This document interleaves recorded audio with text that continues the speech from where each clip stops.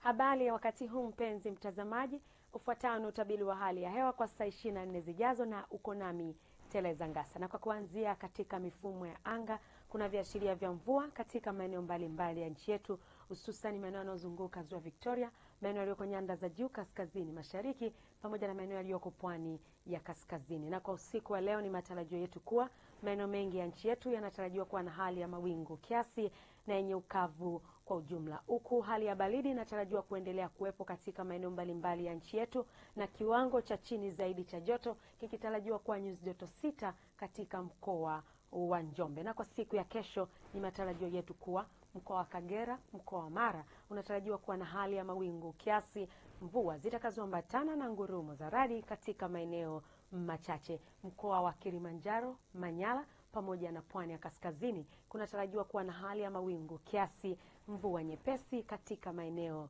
machache, na maeneo mengine ya nchi yetu yaliyosalia kwa siku ya kesho yanatarajiwa kuwa na hali ya mawingu kiasi na yenye ukavu kwa ujumla. Na mpaka kufikia hapo, kutoka mamlaka ya hali ya hewa hatuna la ziada, na usiku mwema.